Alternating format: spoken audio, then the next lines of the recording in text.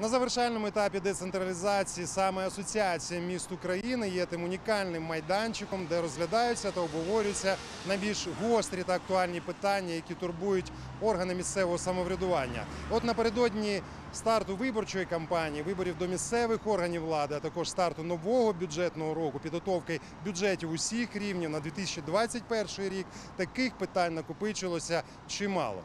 Міські голови переконані, що саме місцеве самоврядування взяло на себе основний тягар відповідальності за протидію поширенню коронавірусу. Зокрема, завдяки зусиллям Асоціації міст України було спрощено процедуру закупівель ліків та медичного обладнання для боротьби з хворобою. Ну а крім того, асоціація ініціювала і домоглася якнайшвидше ухвалення законодавчих змін, необхідних для оперативного та ефективного реагування на ситуацію пов'язану з пандемією. Тиждень залишився до початку до 1 вересня, до початку нового політичного сезону, е, і в якому нас також чекає бюджетний процес. Е, Він, я переконаний, буде набагато складнішим ніж е, в минулі роки. І в Україні зараз сформовано новий адміністративно-територіальний устрій.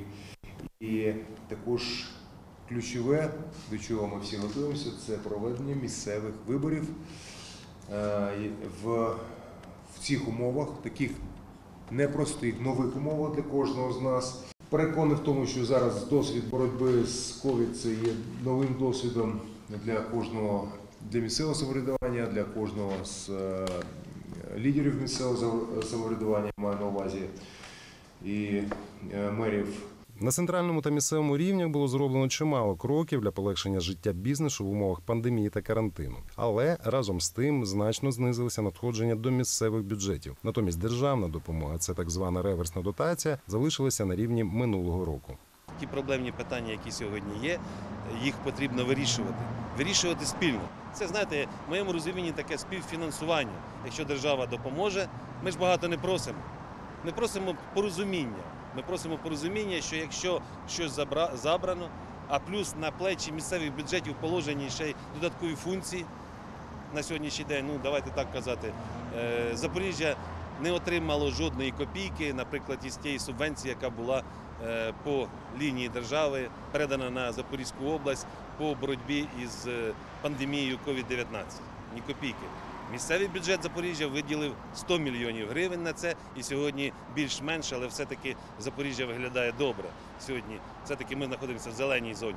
Як не дивно, уряд склав себе і одночасно поклав на бюджети місцевих громад додаткові фінансові обов'язки, зокрема щодо забезпечення закладів освіти всім необхідним для проведення навчального процесу в умовах карантину. А це десятки мільйонів гривень, які необхідно відшукати в умовах гострого дефіциту місцевих бюджетів.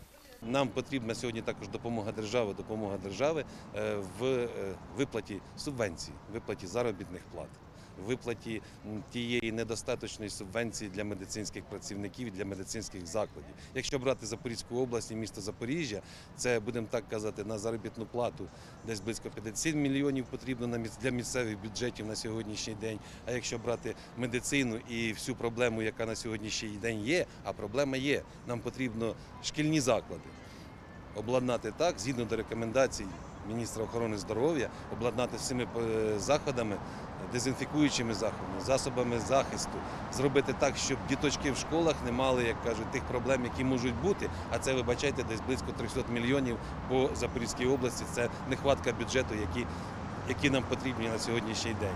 Ще одне проблемне питання ти з боку правоохоронних органів на місцеву владу. Пригадавши ситуацію, яка цього року склалася навколо нового пасажирського терміналу міжнародного аеропорту Запоріжжя, Володимир Буряк наголосив, що продовж останніх місяців майже всі міські голови України потерпають від прискіпливої уваги з боку держави. І саме тому Асоціація міст України підготувала чергове звернення до центральних органів влади із закликом припинити вчиняти будь-які прояви тиску на органи місцевого самоврядування. Олександр Коваленко, Сергій Чалий із Києва спеціально для телеканалу ЗЕТ.